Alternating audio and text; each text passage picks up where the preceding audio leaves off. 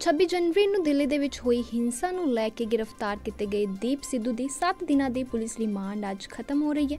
ਅੱਜ ਦੀਪ ਸਿੱਧੂ ਨੂੰ 30 ਹਜ਼ਾਰੀ ਕੋਰਟ ਦੇ ਵਿੱਚ ਪੇਸ਼ ਕੀਤਾ ਜਾਵੇਗਾ। ਦੱਸਿਆ ਜਾ ਰਿਹਾ ਹੈ ਕਿ ਅੱਜ ਪੁਲਿਸ ਵੱਲੋਂ ਫੇਰ ਅਦਾਲਤ ਤੋਂ ਰਿਮਾਂਡ ਦੀ ਮੰਗ ਕੀਤੀ ਜਾਵੇਗੀ। ਲਾਲ ਕਿਲੇ ਤੇ ਵਾਪਰੀ ਘਟਨਾ ਦੀ ਜਾਂਚ ਅਜੇ ਵੀ ਜਾਰੀ ਹੈ ਤੇ ਇਸ ਮਾਮਲੇ ਵਿੱਚ ਕਈਆਂ ਦੀ ਗ੍ਰਿਫਤਾਰੀ ਵੀ ਹੋਣੀ ਅਜੇ ਬਾਕੀ ਹੈ। ਅਜਿਹੇ ਵਿੱਚ ਪੁਲਿਸ ਅਦਾਲਤ ਵਿੱਚ ਇਹ ਦਲੀਲ ਦੇ ਕੇ ਦੀਪ ਸਿੱਧੂ ਦੇ ਮੁੜ ਰਿਮਾਂਡ ਦੀ ਮੰਗ ਕਰ ਸਕਦੀ ਹੈ। ਦੀਪ ਸਿੱਧੂ ਨੂੰ 8 ਫਰਵਰੀ ਦੀ ਰਾਤ ਨੂੰ ਹਰਿਆਣਾ ਦੇ ਕਰਨਾਲ ਬਾਈਪਾਸ ਤੋਂ ਗ੍ਰਿਫਤਾਰ ਕੀਤਾ ਗਿਆ ਸੀ। ਦੀਪ ਸਿੱਧੂ ਨੂੰ ਅਦਾਲਤ ਨੇ 9 ਫਰਵਰੀ ਨੂੰ 7 ਦਿਨਾਂ ਦੀ ਪੁਲਿਸ ਹਿਰਾਸਤ ਵਿੱਚ ਭੇਜ ਦਿੱਤਾ ਸੀ। ਪੁਲਿਸ ਨੇ ਇਹ ਕਹਿੰਦੇ ਹੋਏ 10 ਦਿਨਾਂ ਦੀ ਹਿਰਾਸਤ ਦੀ ਮੰਗ ਕੀਤੀ ਸੀ ਕਿ ਅਜਿਹੀਆਂ ਵੀਡੀਓਜ਼ ਨੇ ਜਿਨ੍ਹਾਂ ਵਿੱਚ ਦੀਪ ਸਿੱਧੂ ਨੂੰ ਕਥਿਤ ਤੌਰ ਤੇ ਘਟਨਾ ਸਥਾਨ ਤੇ ਦੇਖਿਆ ਜਾ ਸਕਦਾ ਹੈ। ਇਸ ਤੋਂ ਇਲਾਵਾ ਦੀਪ ਸਿੱਧੂ ਖਿਲਾਫ ਵੱਖ-ਵੱਖ ਧਾਰਾਵਾਂ ਤਹਿਤ ਕੇਸ ਦਰਜ ਨੇ। ਸੋ ਦੱਸ ਦੇ ਕਿ ਅੱਜ ਦੀਪ ਸਿੱਧੂ ਦੀ 7 ਦਿਨਾਂ ਦੀ ਪੁਲਿਸ ਰਿਮਾਂਡ ਖਤਮ ਹੋ ਰਹੀ ਹੈ ਤੇ ਅੱਜ ਦੀਪ ਸਿੱਧੂ ਨੂੰ 30 ਹਜ਼ਾਰੀ ਕੋਰਟ ਦੇ ਵਿੱਚ ਪੇਸ਼ ਕੀਤਾ ਜਾਵੇਗਾ। ਬਿਊਰੋ ਰਿਪੋਰਟ ਦੀ ਟੀਵੀ ਐਨਆਰਆਈ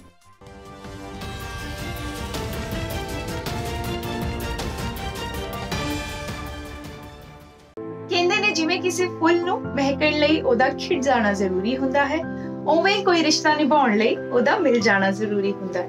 ਸੋ ਰਜਿਸਟਰ ਕਰੋ ਜੀ ਸਾਨੂੰ ਸਾਡੀ ਵੈਬਸਾਈਟ nrimb.com ਤੇ।